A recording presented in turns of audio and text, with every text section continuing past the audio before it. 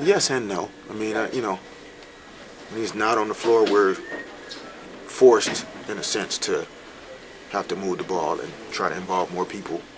Um, you know, he's so good that a lot of times we all kind of give it to him and let him do his thing.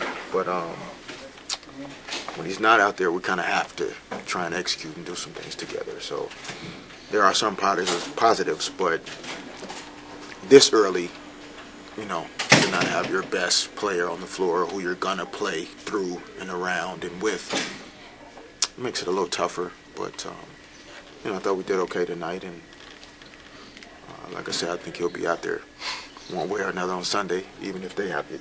You know, he'll cut his wrist off and and play with one before he misses Sunday. So that's my guess.